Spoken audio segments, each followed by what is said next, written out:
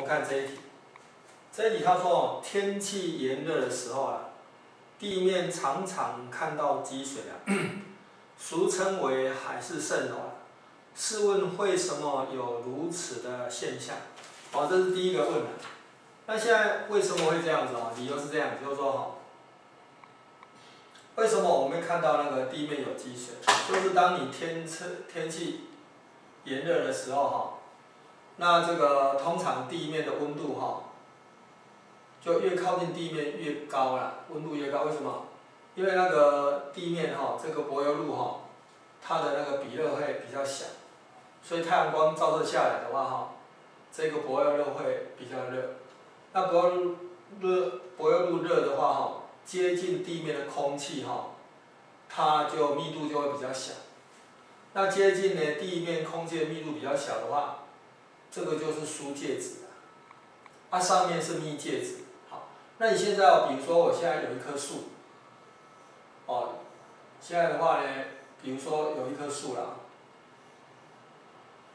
那这一棵树的话哈，它现在那个太阳光的话照下来，照下来这一棵树的话哈，就是光的话呢，这个反射，反射以后的话哈，这个光呢照到地面上的时候呢。因为什么呢？因为那个，嗯，下面是疏介质，上面是密介质。那我们知道说哈，一道阳光的话哈，从那个，呃，密介质哈射到那个疏介质的话，它会偏离法线的。好，那那它会偏离法线。那它偏离法线的话呢，当这个哈，这个光线够平的话，它会产生全反射。也就是说哈，就是说，比如说在这里的话哈。当这个角度的话哈，超过这个临界角的时候，它就会产生全反射。也就是说，这样射过来啊，这样慢慢弯曲，到最后的话呢，多次折射，那会有一次全反射。那全反射以后呢，再折射出去。好，那这样的话呢，你眼睛在这里看的话哈，你就以为什么呢？哦，你的眼睛如果在这里看的话哈哦，你眼睛在这里看的话，那你接收到这一光道道光的话，你会以为哈，这个什么？这棵树的话，这棵树的话在这里，就会形成倒影，形成倒影。那形成倒影的话，那我们就以为什么呢？以为这个地面哈有积水。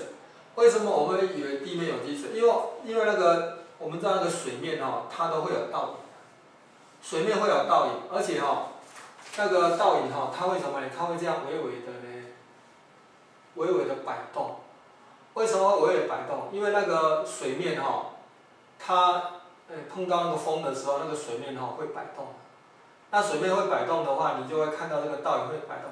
啊，这个也会摆动，为什么？因为这个介质基本上是空气啊，空气它本身的话呢，它也会摆动啊。它空气会摆动的话，那你就会看到这个影子哈在那边摆动。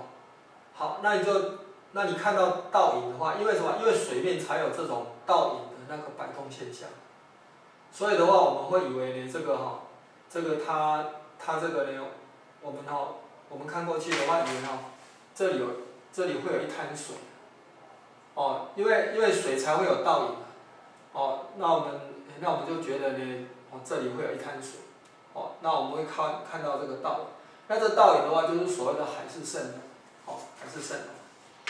那第二个问哦，他是说。那请问为什么看到的是积水啊？我看到积水是是是什么？是看到这个现象哦，跟积水的现象一样，所以我们以为它是积水啊。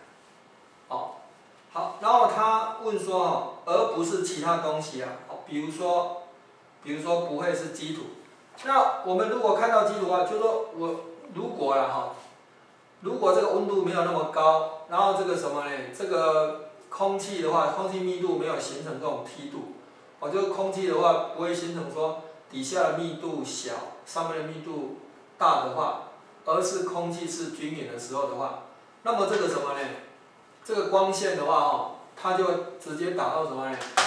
打到地面来，哦，那打到地面来的话，这地面如果有积土的话，直接打到地面来的话，那直接反射，那直接反射的话，我们就会看到什么呢？看到的基这个基础为什么？因为它的反射光哈，是由什么呢？是由那个基土反射的，而且这基土它可能有颜色，你射出来的光的话，如果是白色光的话，它有一些颜色光被吸收以后，然后你反射以后，那我们就会看到这些基土，而且这基土的话是，哦，就四面八方随便射的，而不是像什么呢？像这种，这种什么？这种水面或者是说空气的哦，因为空气是均匀的嘛，空气均匀的话，所以一束光进来的话，一束光没出去，所以的话我们就会看到倒影。那如果基土在这里的话，我们看会看直接看到基土。